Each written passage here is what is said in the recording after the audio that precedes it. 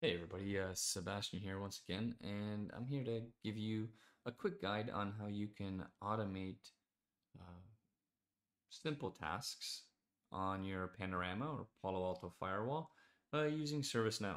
So let's jump into the lab environment itself.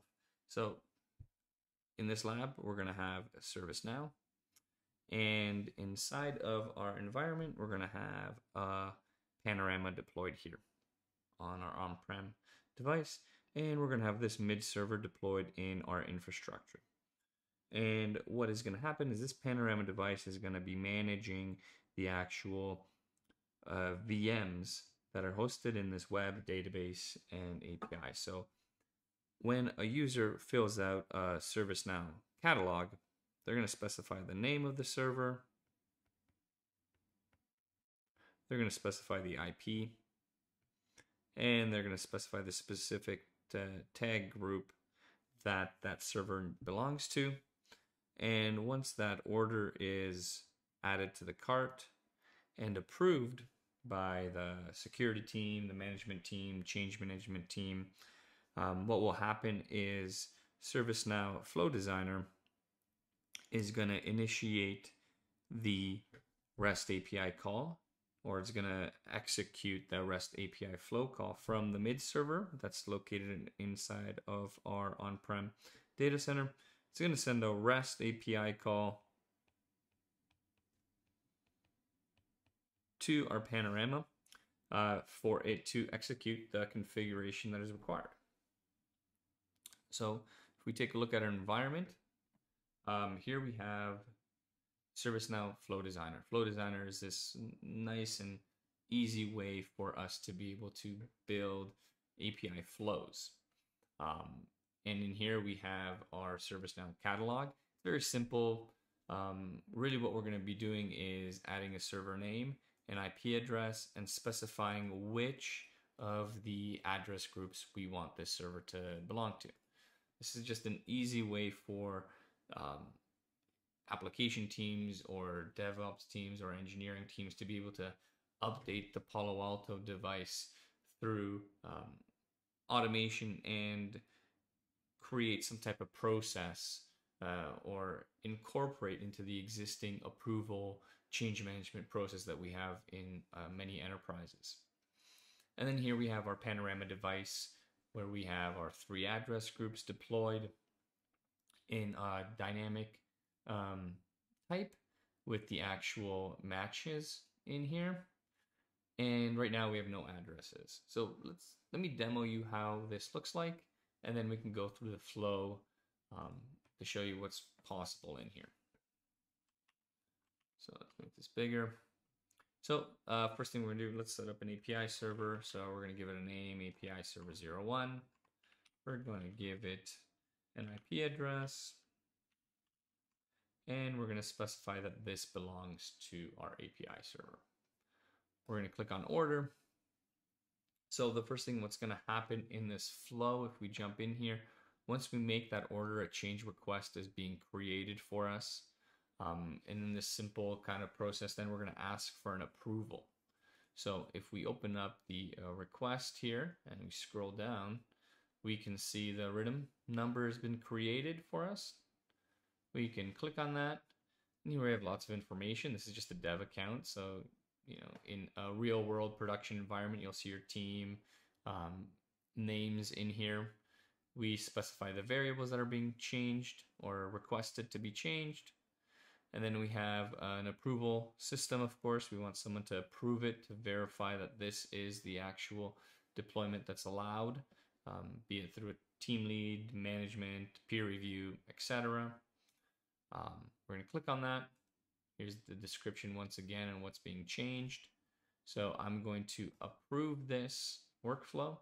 And as I approve this workflow, if we log into our panorama right away, boom, the API server is deployed in here. And the API server is automatically added to our um, address group itself.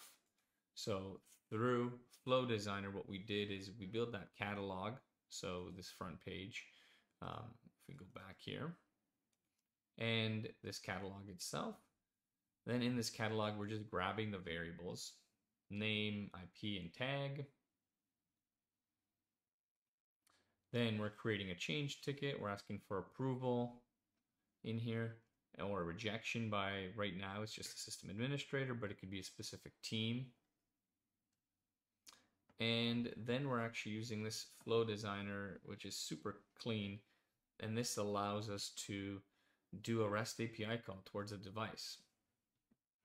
So let's take a look at how this looks like.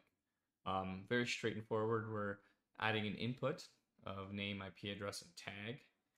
Then if we expand this actual REST API call is we have our credentials that are stored inside of ServiceNow, uh, or they could be stored in HashiCorp Vault.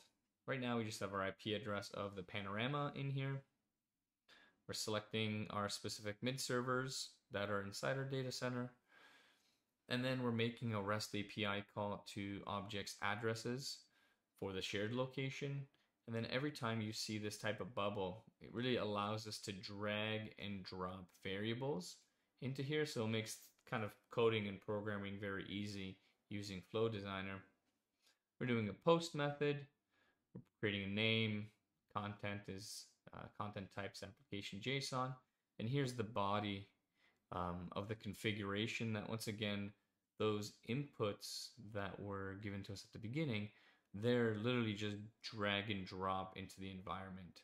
Um, so if I delete this and I want to put a name, I'm literally just dragging and building my deployment uh, and my configuration. And, and that's really it. And once we save and publish this, this allows us to execute um, more changes automatically on our Palo Alto device. So if we go back to our service catalog and we want to add a web server 03 we'll put in an IP address of a, a web server we're going to specify which dynamic address group this belongs to we're going to click on order now same process as before uh, request uh, was initiated uh, RITM, a new RITM ticket was created, so everything is tracked, logged. And this ticket, specifies all the information. As the system administrator who has an activity in here, he has to approve it, so the request for approval has been sent out. Inside the requester is going to see this information of what changes are being done on the Palo Alto or the Panorama device. And once that is executed, it will automatically be deployed on the actual device. So now we see web server 3 being deployed on Panorama and it will be pushed out um, through the configuration uh, or the scheduled config sync inside of Panorama.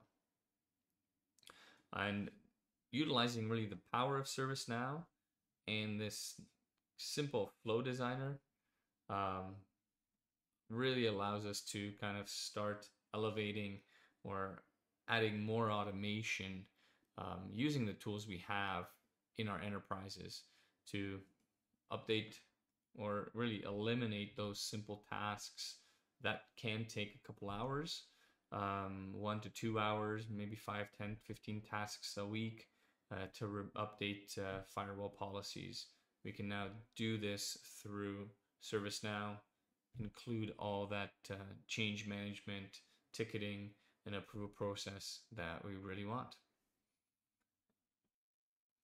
So with that, thanks a lot. Uh, please subscribe and hope you like this video.